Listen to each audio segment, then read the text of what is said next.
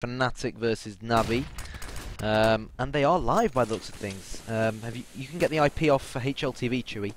So I think what I'll do is I'll just uh, run us through this round. And well, not a bad way to introduce himself to the stream. Olaf with the uh, crisp headshot onto Guardian. Navi do find themselves ecoing, and the fact that it's 1-1 tells me that Navi won the pistol round, and Fnatic out of nowhere must have managed to uh, win the anti, anti round, must have managed to win their eco round. So that completely stomped Navi's econo economical situation. Apologies about Chewy's noisy keyboard, but here Sorry. we go. KRIMZ with the M4 kill onto Zeus. So far, so good from Fnatic, showing Navi exactly how to uh, anti-eco. There's nades flying towards mid. They're uh, all sticking together, and this is the thing about Cache, it's all about the mid control. But Starix is uh, going to be playing like a ninja here. He drops one, but one's not going to be enough, leaving Seized as the last man standing. And let's wait and see if Seized can seize the day. He's got Oh my JW. What? Don't, oh my god. Seized, see, if Seized can seize the day. That's genius, mate. It's just another one of your terrible jokes, but I, I like them because they're just terrible that they become good. So it's like they're so bad that they just become funny. But I'll, I'll give you that one. That You know what's funny? quick. You twerking. Well, maybe if we hit 10,000 followers on the stream today, then maybe so. Come on, 10,000. Come on, boys. I mean, even In before somebody have, bots the followers or something. we- even if you don't have a Twitch account and you're just, you know, a normal viewer, make a Twitch account and follow because we all want to see Chewy twerking. I mean, I, I I checked his ass out at G3 and trust me, you want him. No, I'm just kidding. Oh, this is just getting no worse and worse. Yeah, honestly, it's going to be one on, of those. come on, come on, come on. Let, let's let's let's be professional now. Let's let's do this properly. So I'm in the game. I'm sorted now, and I'm actually live, so that's good. I'm at the same stage as everybody watching at home, and uh, Edward's going to get cleaned up any second here. Um, by the looks of things, he's the last one left alive, and yeah, by the looks of things, must have been Navi taking that first pistol round, and then Fnatic taking the eco. If everything went to what the score looks like, so Fnatic are going to be three-one up now. No casualties in that round. Only JW knocked down a 34 HP, so they are going to be more than happy with the situation here. And uh, you know, talking about the map a bit, I haven't actually casted Cache that much, but it's my favourite map to play, and uh, you know, it's one of those which I, I feel can either you know. c I don't know what's best way to describe it, but it can go either way pretty quickly, in my opinion. You know, as soon as somebody starts to get that uh, that ball rolling and the momentum swinging in their favour, it just it, it's difficult to bring it back on. But that's just my opinion, really. Here we go, Guardian at mid, spots Olaf, he is going to fall back. No, they are going to push him, down goes Edward, but look who it is. Guardian stayed and held his ground as he gets pushed by JW. He's managed to put him on only 7 points of health, and somehow both JW and Guardian still live to fight another day. I do indeed. So, Pronax, nice shot there. It's going to take down that. Now, who is that? Uh, shocks. Who would that be? I'm trying to think now. A second. Starry. Zeus is. Yeah, I thought it was. Yeah, of course. Zeus is going to finish down JW though, so this is already looking good here for the CTs. And we do see Fnatic actually stacked up onto that B bomb site. Lovely smoke going down there just to shut Zeus off. He's going to try and put shots down range, but won't connect. And as you can tell, the bomb has been planted. KRIMZ knocked down to 34 HP. Still a 3 on 3 situation. That's a lovely kill from Guardian. And is the retake going to be real here for Natus Vincere? They need to get that land on the board as soon as possible. Lovely shots coming in from KRIMZ to make things a 2 on 2 situation. In comes the push onto the bomb site. KRIMZ gets his second, but it's all going to be left up to Guardian and flusha respectively on both teams to try and do something. flusha picks up the final kill. And that's going to be 4-1 in favour of Fnatic there. And I thought Navi actually stood a real good chance of taking that round there. And that was important for their economy because having a look at it now, it's pretty poor once again. So this should extend Fnatic's lead to 5-1.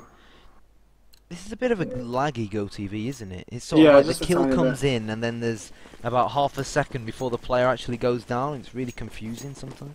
But anyways, here we go, guys. Fnatic still with guns. Um, Navi, on the other hand, you ask me, I think they're missing a bit of Markeloff. I mean, Guardian probably the best AWPer in the game, but still, you need more than Guardian to uh, save you from a situation like this. JW, lovely AWP shot from him. KRIMZ is going to drop Edward, and uh, the Ukrainians are going absolutely nowhere other than back to where they started, back to their spawn. And Guardian, let's be honest, he's not going to do much here. I think Navi have been having a bit of an off day because I was watching a stream earlier on when they were playing, and please uh, correct me if I'm wrong, stream chat, but I believe they were 9 1 down on Mirage before the issue started to occur. I think they were about 9 1 down, and uh, they were really struggling there, and everybody was wondering what the hell's going on with Navi, and, you know, and why is this happening, and, you know, you would have thought then coming into a you know brand new game, brand new map against a brand new team here on on Cache against Fnatic, and after taking that pistol round, that that could be the start of you know things changing and that they could start to pick up their game after a disappointing game against Titan earlier on. But as soon as Fnatic took that eco round, they'd not looked back. And Navi have actually gone for an auto sniper and an AWP here, so we all know how expensive they are. And once again, this is going to be another crucial round if Navi want to start coming back into this game before Fnatic run away with it. Yeah, I have a question for you. Not now. I'll ask it at the end of the round as that nade goes over. Doesn't deal too much damage though. JW falling all the way back to T-spawn and we can see how important the mid control is here. Seized with two already before JW. No, it's going to be KRIMZ. Oh, oh, KRIMZ on the A bomb site, and well, he's he's put him, he's opened himself, uh, he's put himself a welcome mat on the floor. He said, right, don't worry, guys, I've come all the way from LGB into this Fnatic side, and I want to show you guys on Kyanite and Chewy stream why they picked me up. He's gonna get three, you know. There it is, brilliant counter strike from KRIMZ, and well, Starix is stuck between a rock in a very hard place now with only an AWP in hand. They're just going to flash him, they're going to nade him, they're just going to try and eradicate him. And it wouldn't surprise me if we see JW um, get the frag with his own AWP. But wouldn't it be nice to see KRIMZ finishing off the round in style after already picking up three so far in round number seven? JW's going to peek out with that up, and is he going to find him? I'm not sure if he is. The player who's actually going to be the first to find him will be flusha any second. We'll see though if they are going to meet up with each other, the bomb's going to explode in not too long whatsoever, and it looks like he could be hiding, and he could actually escape, so he should be able to keep that orb. But, you know, regardless of the fact that he's kept that orb, let's put things into perspective here. We said right at the start of the round that they bought an auto sniper, and, you know, they'd spent a lot of money this round, and still, KRIMZ just shot them down virtually single-handedly, and Fnatic pick up their sixth round in a row. So, so what was your question? I wanted to ask you, you said you like Cache. In your opinion, yeah. because some people weren't too sure about it, do you think Cache is T-sided or CT-sided? Again, I don't want to get like a load of hate in the chat for this, and, and, I, and I, because I you know yeah, I different people have you, different opinions. I will protect I, you. but I, I don't, I don't know. Like it's, I think it's almost one of those maps that changes. Personally, just for my playing style, when I play, I prefer it on um, on T, but then I know a lot of people prefer it on CT and some games I'll play better on CT than I do T. I guess that's the same for a lot of people, but personally, I just prefer the way that the map is laid out on, on T for me. But then again, I'm a pretty bad player, so I wouldn't take that opinion into account really too much if you're deciding for yourselves, guys. And Chewy Twerk is still in the stream. it is, yeah. I told you, man, we're all hungry to see it. Anyways, here we go. KRIMZ is uh, Gonna get even more frags before Starix comes big. Nailed in the head by KRIMZ yet again. And ladies and gents, KRIMZ is on fire. I've said at G3 that for Fnatic in the games that I watched of them anyway, KRIMZ was the standout player to me. Obviously relatively new to the roster along with olofmeister joining from LGB. And uh, he really, really impressed me and just became one, you know, on his own and just was absolutely outstanding at G3 from what I saw. I don't know what his final rating or anything was, but as I said, he, really impressed me, and he's really impressing me here once again on Cache.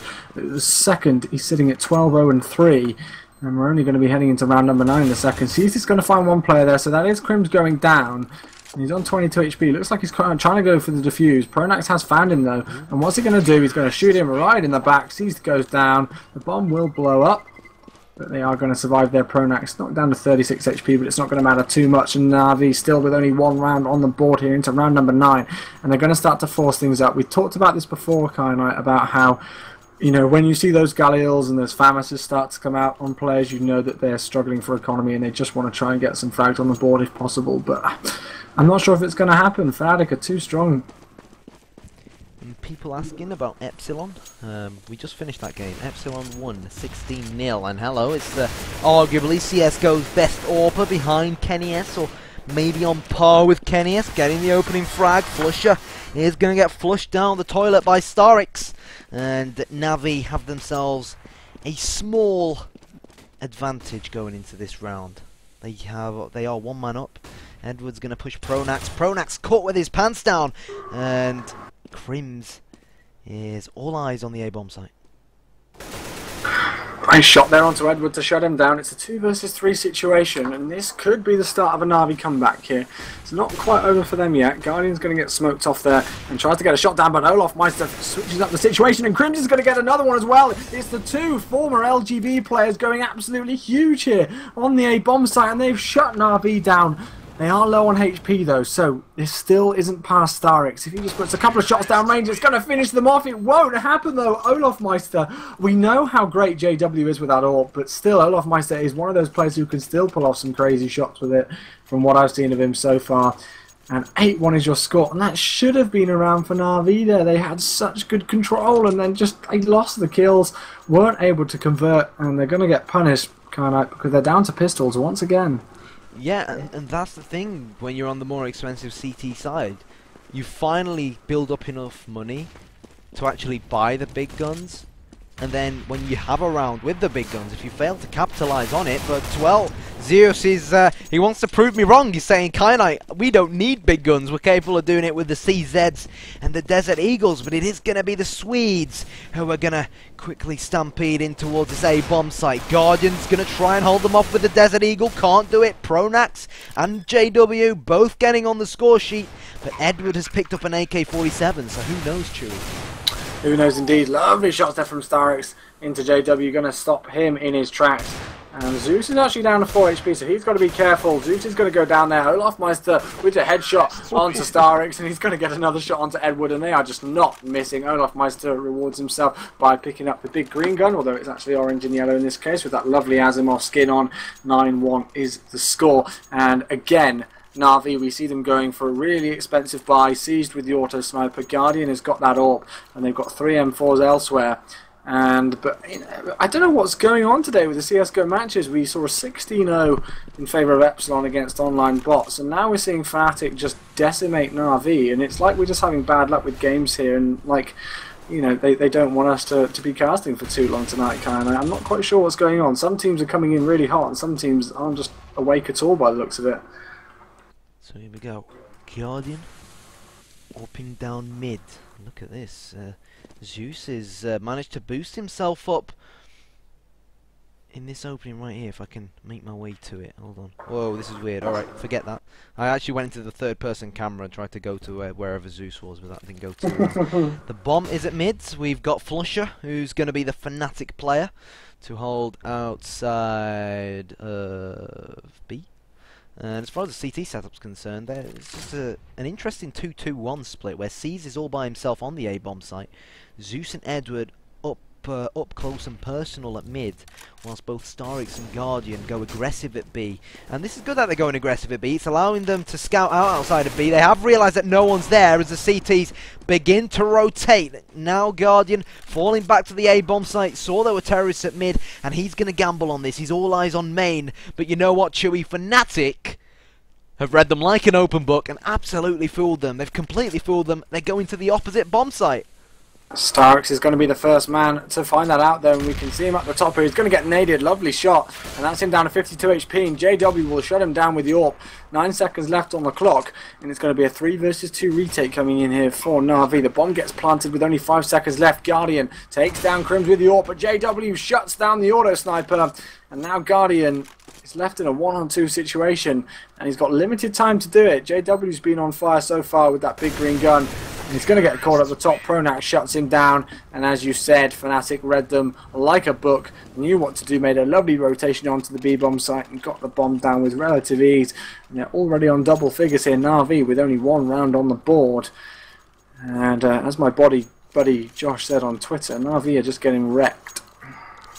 Get underscore wrecked. Wrecked.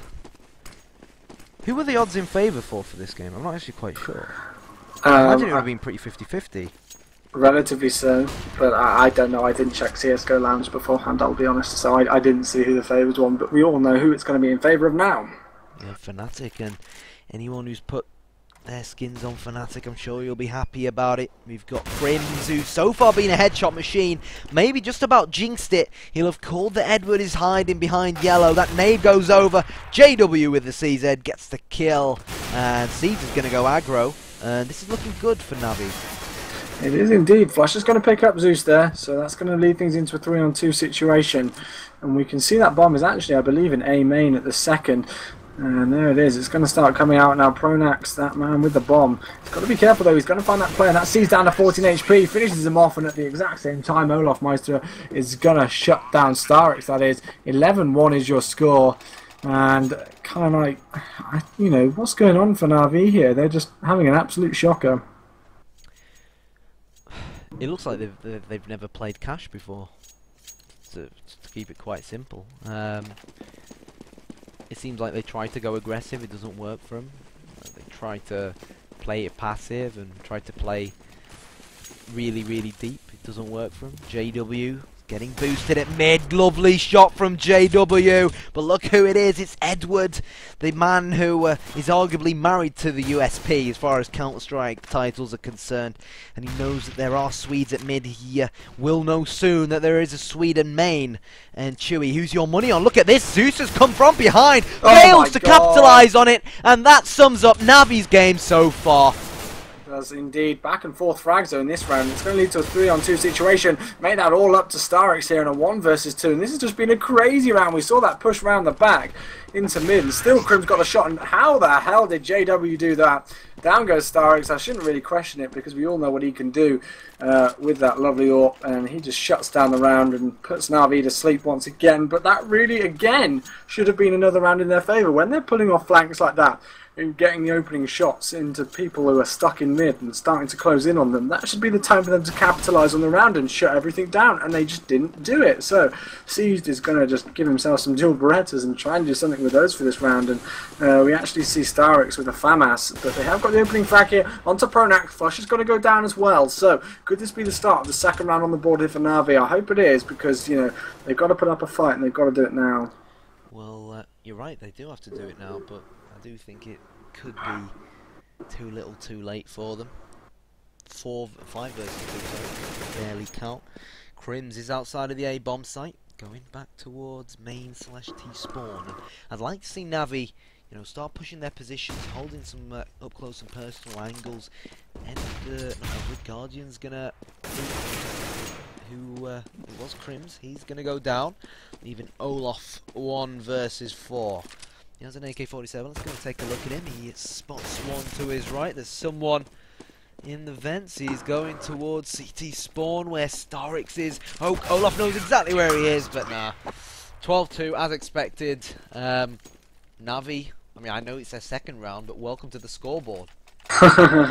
yeah, exactly. And uh, they're going to go for a double up setup here, and it's quite interesting how Navi are finally able to get a you know a round on the board when they only have like a you know they don't have exactly all the guns that they wanted in World. Hey, we got one three three seven viewers. Hey, I like that. I like that. But uh, Seized only had dual Berettas, and I believe there's only a FAMAS on Starix, if I'm not mistaken. Um, and and still they managed to pick up the round. But when they've been having auto snipers and you know the best setups possible in terms of weaponry, they've just not been able to capitalize so far. So this just going to find JW though, and here we go. Navi is starting to show what they're made of. So it's a 5 versus 4 situation. Zeus has got to be careful though as he's been knocked down to 14 single points of health. And it's going to be interesting to see how the AWPs come into this round because obviously Flush has picked up that one that JW dropped earlier on I believe. And Seized and Guardian have got one each. So we'll see if those guns are going to play any damage whatsoever. KRIMZ's knocked down to 5 HP now. He's got to be careful as well. And I've got to say, although things could go either way, if Navi don't close out this round, I'm going to be very, very shocked. Yep. Here we go. Guardian, the man open at mid. He's he's played that position, you know, time after time again. Fnatic know he keeps playing it, but the thing is, they don't want to challenge him because again, he is so good with that AWP. I remember him back in the Source days.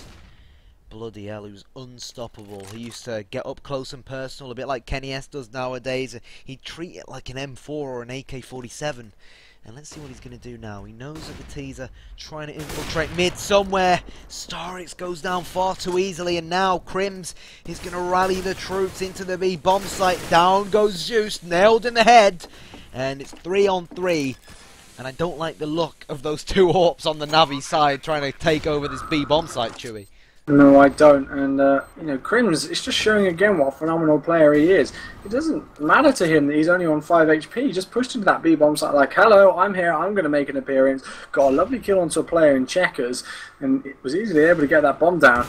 And we do see now actually going to get finished off. Pronax down as well. It's all going to be left up in the hands of Olofmeister here. He's going to get caught and he does go down. And that should be a relatively easy defuse. Guardian was already on the case. And Na'Vi just about finishing that one out. But, you know, let's put it into perspective here. Uh, that wasn't the easiest retake in the world. So unfortunately, we've got an auto disconnect. I believe that's just because of uh, the servers that have it. Yeah, it's the ESEA. So hopefully we'll be good to go.